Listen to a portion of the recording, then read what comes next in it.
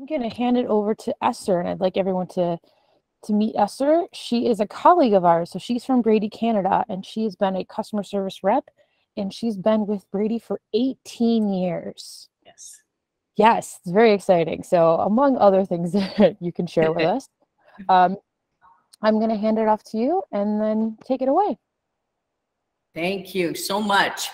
I want to say that this uh, experience today is a privilege and it's an honor for me to be here. Um, Women's Leadership Alliance, thank you so much for having me. Um, I just have to say that uh, having the opportunity to shed light on bipolar disorder is um, absolutely wonderful to me. That I have got to do this because it is just such an opportunity. Headquarters, Brady, Milwaukee, awesome. So my older brother said, Now, Esther, that is a big deal.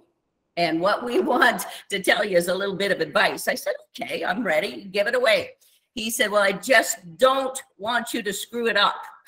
so I thought to myself, How lovely. So, so after David gave me that stellar advice, I thought to myself, what a family. So let me tell you a little bit about my family so you'll know about me and uh, how I grew up.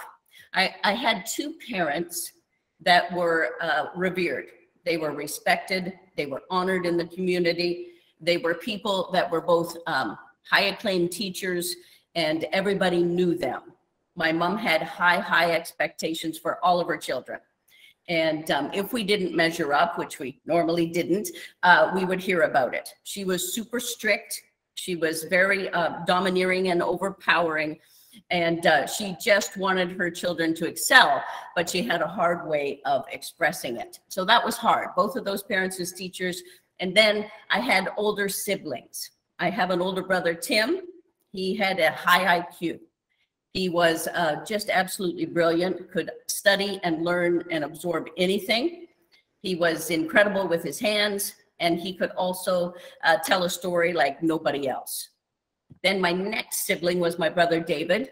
He was the gregarious one, the public speaker, the one that went everywhere and he was asked to speak at weddings and uh, be in variety shows. And he became a, a world-class lawyer in a very prestigious US city. And uh, he was, both of them were incredibly hard to follow. So then after that, I had a sister and uh, she was six years older and uh, keep in mind, I battled my whole life with my weight. So um, that was always an issue with me. I wasn't very successful, still battle it today. And here's Rebecca. She came along and she was 100 pounds soaking wet and uh, never had a problem with her weight. She was drop dead gorgeous. She was super talented. She could sing like uh, an angel and was always asked to perform at variety shows and musicals, and every man in town wanted to date her. So I had those two parents, and I had these three siblings, and it was very, very difficult to uh, find my place and uh, just to wondered where I fit in. I really wanted to fit in more than anything else, and I was having a hard time doing that. So here I am, just at the tender age of eight years old, and I'm thinking, well, maybe this will help me fit in. My brother was having a party in the backyard. And what happened was, uh, you know, of course, you've got alcohol there, you've got smoking, you've got loud music. And what I would do is just skirt around, see if I could lift a few bottles of beer from here and there. And uh, I found my brother's cigarette pack and I took three or four cigarettes there, went to the side of the house. It's in the dark, I'm all alone, and I started to smoke. And of course, you choke and gasp and you're barely able to breathe, but I kept with it so that I could be a smoker. And then I drank all that beer. I loved how it felt. It made me feel just amazing. And I thought to myself, this is kind of fun. But, you know, it was secretive and it was by myself and uh, very young. You think, okay, that's childhood pranks. But unfortunately, that led to behavior and an addiction that I had for years and years and years. And that was very difficult. So I went off to high school and I thought, okay, maybe I'll have a better start here. Um, I haven't had a great track record even at my age. And I thought, okay, I'm going off to high school. And unfortunately, I like to do anything that was wrong, anything that was rebellious, anything that just gave me that adrenaline. So what I did was I like to say I borrowed, but what I did was I stole three cars. The first one was my brother's uh, Pride and Joy, his satellite Sebring Plus. It was in the garage and I tried to back out in a curved driveway. And what I did was I smashed it from one bumper all the way to the other on the uprights of the uh, of the garage. So I just pulled back in and two days later, later, they discovered it and I denied it to the hilt. Of course, they knew it was me, but I just lied about it. The next car that I had, I took out my dad's pride and joy, and it was a rainy uh, Sunday afternoon. Never forget that. And it was out in the country. So we had gravel and we had dirt roads and we had all kinds of things out there. It's a V8 engine. So here I took off from a stop sign and gunned it and went right into a ditch hit a tree, had to be towed out, and uh, tried to get the car home before my dad would see it. And of course, when he did, I don't think I've ever seen my father upset in his entire life. But of course, I, I brought that out in him that day. He was not happy. So there was uh, another car I took out, quote unquote, successfully. I made it to my youth pastor's uh, house, and he was so concerned when he found out I had driven. This is all at 14 and 15 years old, way before I got a license. And so this is what was going on. None of my other friends were doing anything like this, but I just was determined to do things that I knew were wrong. So I made it back from my youth pastor's house. He was so worried. He wanted me to change my life. He wanted me to, you know, become a better person. And I just wasn't interested. And I just left him kind of in the dust there. So the next thing you know, I'm 16 and I actually get a license and I'm now driving. And I'm driving so fast and I'm driving so amazingly um, recklessly. So here I am driving through stop signs and uh, here's the problem. I'm just flicking off the lights. I'm driving 100 miles an hour and my heart is pounding. And for me, I thought that was kind of an interesting, fun experience. Now, I said I drove drunk, and that's, um, you know, only by the grace of God that I didn't kill someone or, you know, get in a horrible wreck and kill myself. So those things are going on at 16. So all of a sudden, something happened uh, that kind of changed the course of my life for a while. I was out horseback riding with friends, and I dove off a horse, got thrown from a horse, and uh, broke both of my arms. I had casts all the way up to my shoulders, and my mom had to take me to the bathroom. She had to feed me. Uh, she had to tutor me, get in tutors from the high school. So here I had teachers that, you know, not your biggest people, fun people in the world. There they are at my dining room table tutoring me. And um, I had VON, Victorian Order of Nurses, come in every day and they would dress me and they would uh, shower me, shower me, and dress me. And I thought, you know, I'm reduced to absolutely nothing. It was a good time for me to slow down. I think that that's what the purpose was of that. So I did slow down and I did manage to finish high school, and that was great. So then the next thing you know, I'm off to uh, university. Now, um, I'm trying to save up money on one of the summer semester times, and I'm at my brother's house with his wife, and I'm staying there working in a restaurant. Now, I'm making pretty good money, but one day I went to a store, and I can't tell you it was not premeditated. I just decided it would be fun if I would take things. So I would take sunglasses, rip off the tags, put the sunglasses on my head. I would go up and down the aisles just taking things for the adrenaline pump that I got. Now, I went through the whole store. There's a few things I was going to check out with and pay for.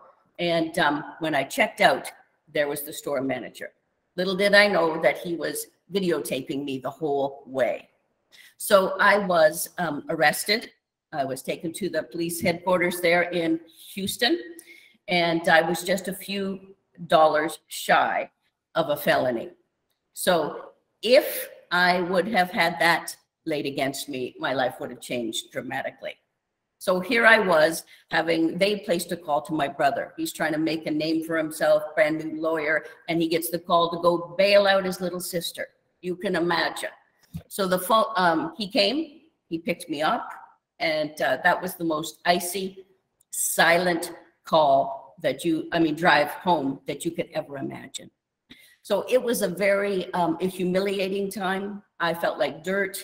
I walked in the door and there was my sister-in-law. She saw the imprints of the handcuffs on my wrists and she kissed my wrists. And I never forgot that. And she's one of my most favorite people ever in the world because of that kindness that sticks with you. So that was very, very hard. So I went back to university, hoping a new start, no trouble. Let's graduate. Well, here's what happened. Um, there was a scholarship available for religious life. And that means I'd be planning the chapels for the, um, the upcoming year. And it was a partial scholarship, and I thought, how wonderful. So I went after that and I uh, was nominated and I ran and I won by a landslide. So I thought, this is fantastic. I was so excited and so blessed to have it. I thought, this is great. This is my new beginning. This is what is going to change uh, my, the course of my life. So wouldn't you know that because I won, I wanted to celebrate. And for me, always celebration meant alcohol. So I went out, keep in mind, this is a private Christian school that I'm going to. And I went out and I got plastered. And I was so drunk I could barely stumble in the dorm later on that night. So the RA, the resident advisor, uh, obviously noticed that I was drunk. She reported me. The very next day, the dean of the university called me in and said, Esther, that's one of the rules. We can't have that broken. Um, we're going to take away your scholarship. We're going to ask you to leave the school. Uh, we've deemed it necessary to call your parents. In fact, they're here right now. So if anything you can imagine that would uh, put my heart on the ground was the fact that my dear parents from Stouffville, Ontario, Canada, drove all the way down to Oklahoma City. And there they were. Now, I will say they were very kind to me. They, of course, were disappointed.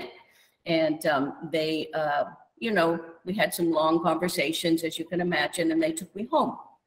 So I'm at home back in my hometown in my parents' um, uh, house. And I thought to myself, what I want to do more than anything in the world is get back there to graduate. Now, I can't tell you the real reasons why, other than I wanted to prove that I could do it. I wanted to prove that no matter what, I would um, graduate. Now, my mom, the strongest woman I've ever met, she said, No, Esther, don't go down there. People will be talking about you. It'll be too hard. Don't do it. But I just had to. I wanted to graduate so badly.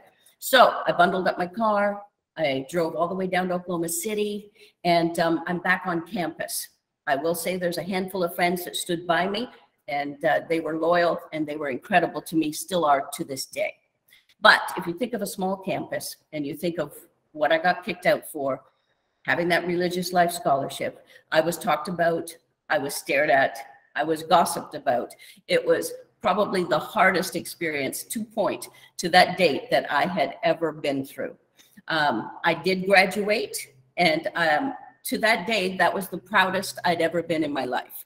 I had gone back and faced, you know, the people just ignored you or looked the other direction when you passed in the hallway. It was awful but I, uh, I did it and I got that psychology degree and I was so, so proud of that.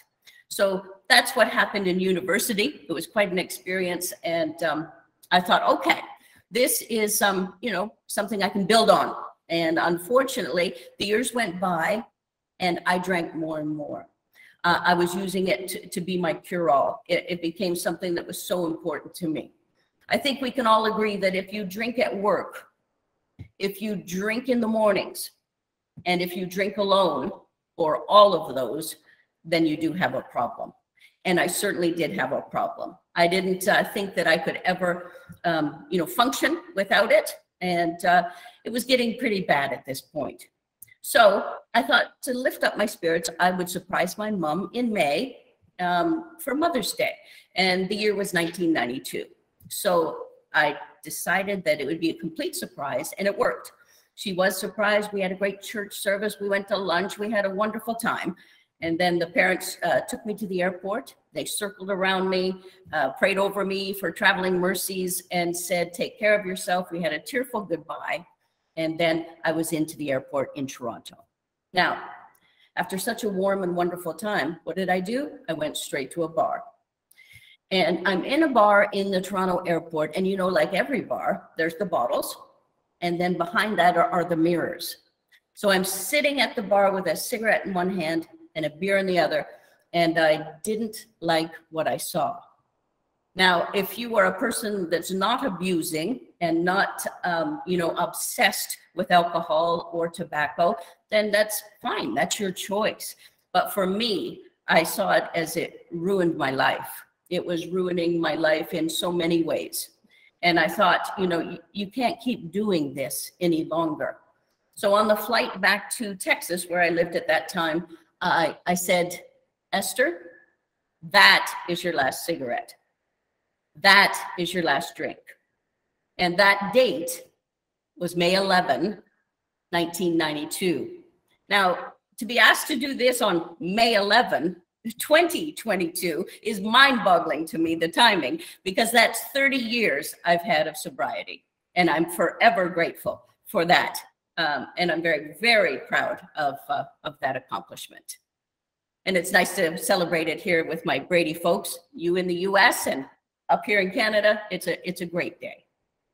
So, um, you know, you think, okay, no alcohol, no tobacco, your life is going to turn around, it's going to be amazing. Unfortunately, it was not amazing. Um, what happened was without that panacea, without that, um, I guess, that cure all or coping mechanism, whatever you want to call it, I didn't have that anymore. And I started to get worse. I started to spiral. And um, I, I didn't know where I was going. I just know I was just circling and circling and going down. And uh, it got to the point where I couldn't function anymore. I mean, I was that person drinking at work, styrofoam cup in the back wait station, and just drinking all day. I was doing it in secret, I was doing it alone, and it was bad. It got so bad that I, I couldn't call into work. I couldn't um, answer the phone, talk to family or friends. My best friend at that time, uh, Janice, she brought in a, a manager from my apartment complex just to open the door to see if I was dead or alive. It was that bad. So I made the hardest phone call I think I've ever had to make. And I'm, I said, Mom, I'm not doing well. I'm not functioning. I'm not uh, going to be able to make it. I need your help. And I'll give her all the credit in the world. She got in her car and uh, I'm sorry, she flew down and we drove back in my car all the way back up to Canada. And uh, when I got there, um, this has never happened to me before for such a long time, but I stayed in my parents' basement for one solid year. I wasn't talking to people. I wasn't doing anything. I was up at night and I was sleeping all day. And I had some friends come by and say, let's go, go, go. You got to get up. Didn't help. Now, I did have a friend named Sue. She came by. She just sat at the edge of the bed and she just talked or just listened. You know, she was soft spoken. She was sweet. She was wonderful. And that changed me. That touched me. That got me out of bed. She said, There's a Weight Watchers deal at the church, and I'd like you to come with me if you want. And I thought, How fun. Great. So I went with her, and that got me out of bed. Then the next thing you know, I got out of bed and went to work. I got a job. It didn't last but over a year, but uh, nonetheless, I was out of bed. I was functioning. I got an apartment. I moved out of my parents' place. It was a really good experience for me. Then um, I got another job when that one fizzled, and it was great. It was about a year. I enjoyed it. Everything was perfect. And, um, you know, I think it went off, it dissolved or whatever it did, and that left me looking for another job. So in 99, I found what I thought was the dream job. It was at a place called Brands Elite, and they hired me, uh, and I was autonomous. I was my own boss. I had my own office. I could come and go as I pleased. It was incredible. Uh, fossil watch repair was at 12 weeks. They said, if you can do anything less than that, we'd be so excited. And so what happened was that I was bound and determined to drop that 12 weeks. And I did. I got it down to seven days. They were ecstatic.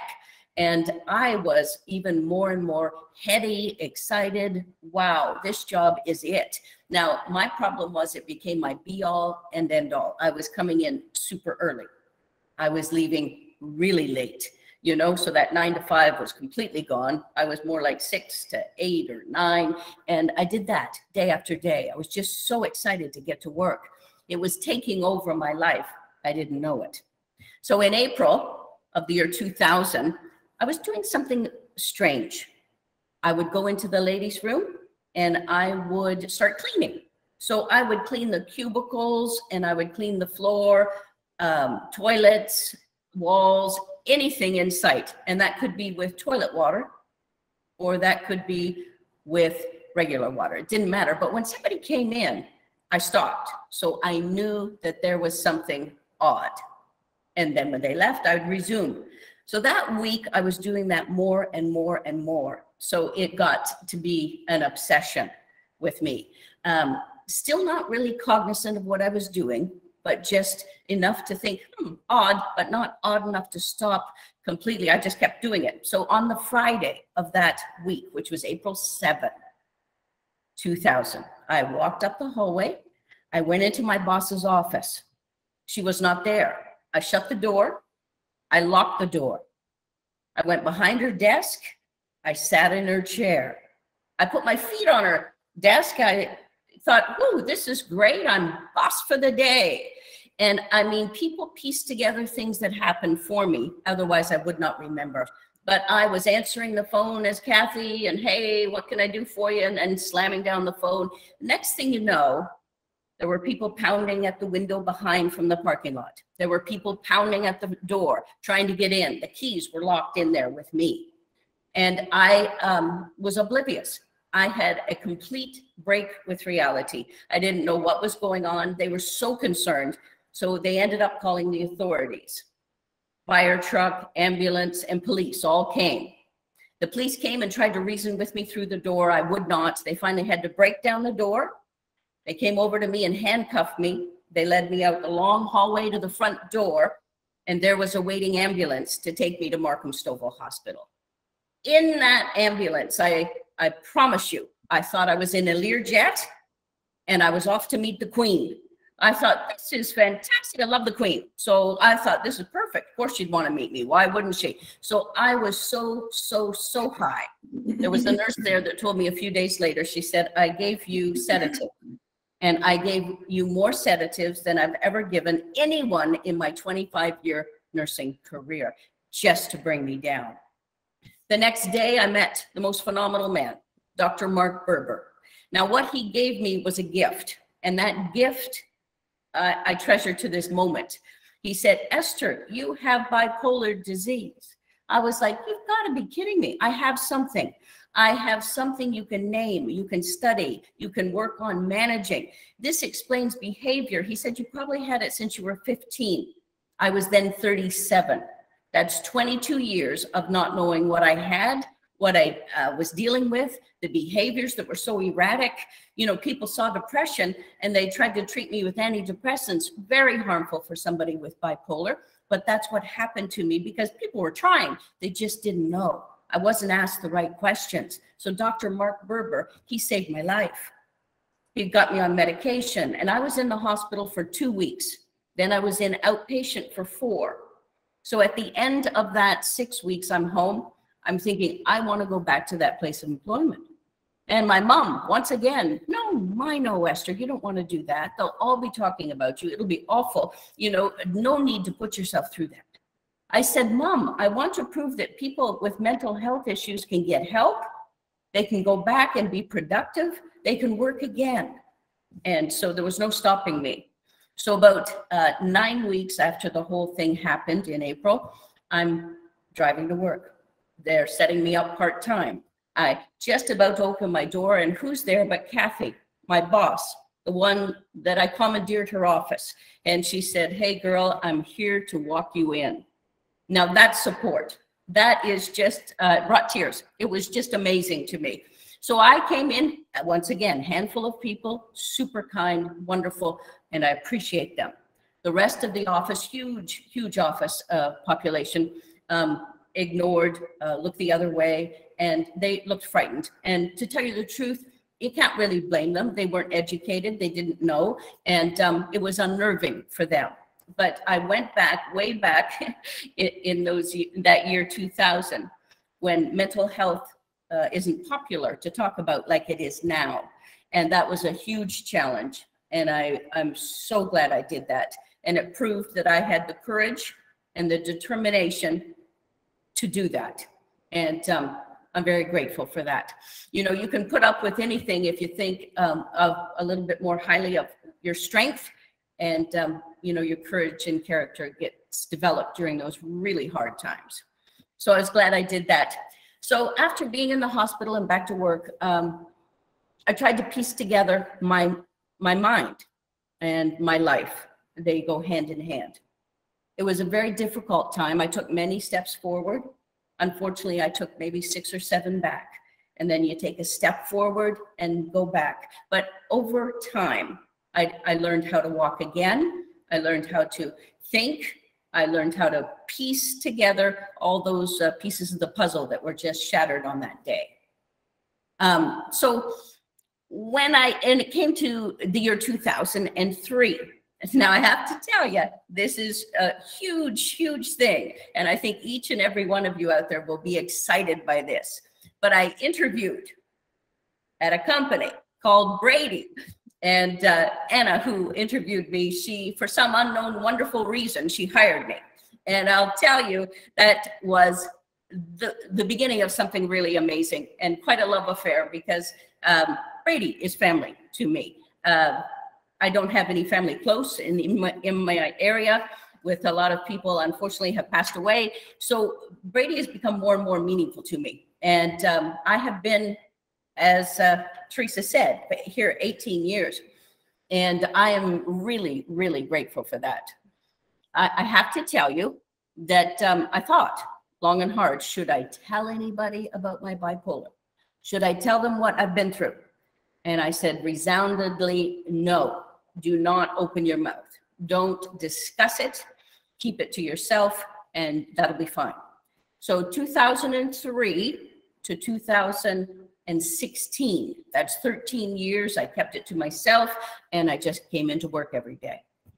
Um, I decided that um, it would be a good idea to tell my boss, Chantel. I thought uh, I like her, I trust her, and I really want her to know so um, I had a really uh, hard time getting up my nerve. so I would go into her office and start to talk and then talk about something else. and then I would leave. And I think I did that two or three times, getting up the nerve to say, Hey, Chantel, I want to tell you a little bit about myself. And I finally shut the door, did that, and told her my bipolar story. I'll tell you something. She was supportive she was kind. I think the biggest thing was she listened without judgment. You can always tell in someone's eyes if they're like, oh my, you know, she, she didn't do any of that. She showed compassion. She had tears in her eyes when I told her about some of the hard times I'd been through. That was the turning point of my uh, mental health uh, life. Um, I have had no end of uh, opportunities because of talking to her. Why? Because then I had courage to tell um, a colleague, uh, Kim. She was very supportive. She was enthusiastic that I had told her. She was proud of me. And I thought, wow, here's two people right here at Brady that opened the door for more dialogue, more conversation, more and more and more. And it all started with Chantel. So you cannot um, tell me that one person can't change a life. They certainly can. So that led to my doctor calling me out of the blue after this and said, We're doing an article in the hospital magazine. We want it to be about you. Um, you can go anonymous. You can just go by Esther, or you can go Esther Herbert. And I said to myself and to him, Let's go, Esther Herbert. Let's kick down some stigma. We need to get after this. So that article came out and uh, that was the beginning of speeches and all kinds of wonderful things that have happened. And it all seemed to just connect. Once you open up and become vulnerable, it's amazing what things can happen. So now I want to talk to you about what I would call the most um, important part of this whole talk. Uh, this is, as you saw by the title, Piercing the Darkness Through the Light of Hope. So here are my hope list. Here's my lights. Here are things that you've seen enough darkness. You've heard all about it. So now I want to share with you these wonderful things that have just been amazing to me because of getting through uh, the bipolar, um, not knowing, and then with the diagnosis, this is what's happened. So the very first thing is I wanted to say is longevity of bipolar wellness. Now for me, it's being faithful to all of the regime, the routine, the medication, the doctor. Um, all of that will attribute to wellness. Now, that doesn't happen for everyone. Many people start off great and then feel better and quit their medication or whatever routine they're on, they think they're fine and they drop it. Or they quit talking to their therapist or they quit talking to their family members or whatever it might be that helps them and they think they're fine. And unfortunately, um, they're not. And we see that many, many times. So sticking to the program uh, has helped me tremendously. And I'm very proud of that. The second thing I think you will be equally excited about is the fact that I have maintained my position here at Brady for 18 years. This is a place that I'm proud to call home. This is a place I'm proud to come to every day. And this is a place that houses some very important people to me. And um, I am so excited to say I've been here 18 years. I'm very grateful. Um, also, another light hope for you is uh, I have a YouTube channel. I started out a few years back and now I have about 85 or 90 uh, videos uh, I just call them video chats, and they're about mental health issues, and they're to be encouraging and give people a boost. They're about five minutes long. If you ever want to subscribe, Esther Herbert, you see my picture, and please do, because I would love that. Ted from Brady USA, he said to me one day, he said, um, you'll never know how many lives you are touching through those videos. And I thought, what a wonderful, kind comment. It was very encouraging to me. So YouTube channel is another light. Now, this one might be controversial because I don't think a lot of people agree, but I will tell you it's true in my life. I have the strength to be vulnerable. I believe that once you open up and you show that vulnerability, people will respond to it. They will, in turn, maybe share their story or something about their lives, their parents, something, and they will talk about mental health. Now, I want to open the dialogue anytime I can. And I believe me being vulnerable like I am today, sharing my story, I think it is a sign of um, strength. And I think it will be for you as well. So I'm very proud of that one as well. Now, think of it drinking at eight years old and now 30 years sober. So I couldn't get more excited about that on the day than sharing it with you folks today. So that's a good one. Now, I think the very best one for me is my mom. Now, when you think about an 88 year old woman set in her ways, um, grew up in the Depression era, and um, never talking about mental health and saying that doesn't run in our family. And all of a sudden, she's at my speeches talking about mental health. She's there in the front row, she's clapping, she's on board 100%. She's handing out my magazine articles or my business cards and saying, My daughter has bipolar, and I want you to talk to her. Uh, I think the most exciting thing was um, 88 to 95, seven years of a beautiful relationship. She passed away at 95 in 2020. And she said to me, she said, you know, Esther, we need to write Reader's Digest on, on what a incredible mother-daughter relationship that we have. Now, I'll tell you, that touched my heart and uh, touches my heart this moment because I love my mom, miss her every day. But to have that relationship, that was a gift. And I'm very thankful for that. And the last thing is, uh, I wonder where God went during all this time. You know, here I am having darkness and problems and pain and humiliation. And uh, a lot of it brought on myself, but it was still painful. And I wondered where he was. But, you know, in retrospect and getting a clearer picture, I realized he was right beside me or carrying me. And he provided the biggest light of all. So I'm very thankful for that. Okay, now I do want to go back to um, something that's super important to me. I want to talk about the game changer, the life alterer, the way maker. Now, who am I talking about? I'm talking about my manager. You know, she could have uh, responded very differently. And I think to myself, what if she was cold, indifferent, dismissive, didn't have the time, prone to gossip, or full of the stigma so many workplaces today have? What if she judged me? She cast a shadow of a doubt about my life. What if she in turn treated me differently after our conversation, a little less human? You know, we've made great strides in corporations, but um, they are still full of people who have no idea how to respond to or guide people with mental health issues. I have had friends who've had horrible experiences uh, through workplace mental health shunning. They've been humiliated, disgraced, and isolated. I was blessed. I was fortunate. I had a manager that checked all of my boxes every single one of them. And that's what I needed. I'm forever grateful, Chantel. Thank you. Thank you very much. Okay, now I believe there's two sets of people out here listening to me today. You might be in need of a caring ear. Uh, you're struggling. You might need someone you can trust. Or you are in a position to listen without judgment. Give support.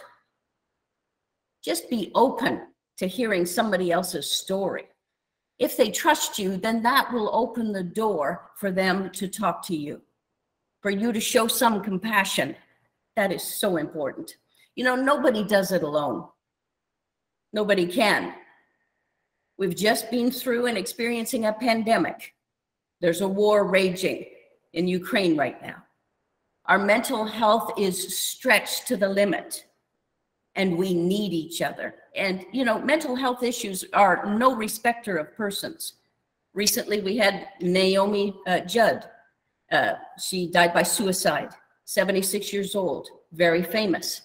And she had severe depression and resistance to medication. And it's pitiful. Now, is she more important than you or I? No, but when you're famous, it sheds a broader light. And I think it's important to talk about it because it is out there. It strikes everywhere. I believe that compassion and empathy never grow old. If you can reach out, if you're capable, please, I, I pray that you do. If you can listen, it'll make such a difference. I know it makes all the difference in the world. So we need to do that and we need to do it now. We can't wait. It is the time. Keep making the strides that we are and keep it going. So as I conclude today, I want you to really hear this. You matter. Your mental health matters. And I want to repeat this part. You matter tremendously. Please remember that. Thank you, Women's Leadership Alliance. Thank you for each and every one of you out there listening. That is a great gift. I appreciate it. Teresa Schmidt, I appreciate you asking me here to speak today. It's been an absolute honor and a privilege. Thank you, and God bless you. Thank you very much, Esther. I mean, the, the time that you spent with us is very, very helpful and very enlightening. Um, we're going to open it up to some Q&A. So as I mentioned earlier, we have two opportunities. If you'd like to ask her directly, um, you can do the Q&A in the discussion. I'll kind of ask the questions for you. Great. Or we have the anonymous option, which I'm going to send in the link again. Um, but please, uh, if you have any questions, even if we don't get to it in our session, we can share it with Esther and she can give some responses. Yes. Um, so there's actually a question from Jane. Um, I'm going to actually read it mm-hmm. directly here. Hi, it's Jane from Brady, Canada. Thank you, Esther, for sharing your story here today. That must uh, that must not have been easy, and you definitely made me shed a few tears listening to your story. By the way, I agree. Please let us know what motivates you to tell it here today. Well, thank you. It's a it's a very good question.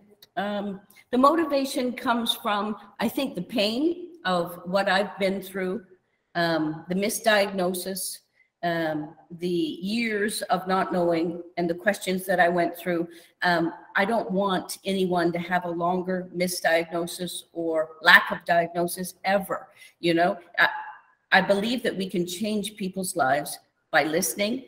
Um, I don't think we have all the answers, but I also know that they can get help. Um, I think that the like Chantel, she listened. She didn't, you know, she wasn't a doctor. She couldn't prescribe anything, but the listening portion changed my life. So I want to break down the stigma. I think it's prevalent in a lot of places. And unfortunately, through my studies, workplace is, is the place it's the highest. So for me to be able to talk about mental health issues on a forum like this is a privilege beyond words because I want people to understand that they are not alone. There are people out uh, there that care about you in your circle, or even it's amazing how they'll just be brought upon your path. You know, um, you might not have expected to hear me today and go up and talk about what I did, but I was brought for a reason, and there are people all around you that are brought for a reason. So, Jane, that's an excellent question. I did it because I want stigma gone, and I did it because I want people to feel hope. Thank you, Esther. Um, this question actually is related to what you just spoke about, but what does it mean to have uh, to have been asked by Brady to speak at this event? well, I mean, it's uh, it's very hard to put that one into words because it's so exciting and such a thrill. I mean, you know, this is my company, and this is a company that I'm so proud of, and I see it as this shows me leadership at Brady is interested in mental health issues. This tells me that you know if a program is to be successful in a company, it has to start at the top. And for this to be a leadership alliance and so many people in the invitation hold um, management or senior positions, I mean, that is wonderful because that's going to trickle down to all of us. It can't start at the bottom, it has to start at the top. So for them you to ask me to come and talk about this particular topic in a place, it shows me Brady is right on the cutting edge of mental health. And, you know, that's something to be so proud of because we need it now more than ever. Pandemic, war, our own lives. Dear Naomi Judd, people in the media everywhere are suffering. We're all suffering, and we need ways to cope and to have it happen at work where we spend most of our time that to me is an absolute privilege and a joy. And I, I thank you again for that. Thank you for that. Uh, another question What do you do to maintain your bipolar wellness? That's a great question. Whoever asked that, thank you so much. Because I try to tell people um, we're all impatient at times. We want wellness and we want it in a nice little box and it's just there. But unfortunately, it takes work, it takes discipline. Um, a person with my particular uh, disorder likes routine. So I am very routine oriented. Ask anybody I work with, I eat the same thing for lunch every day.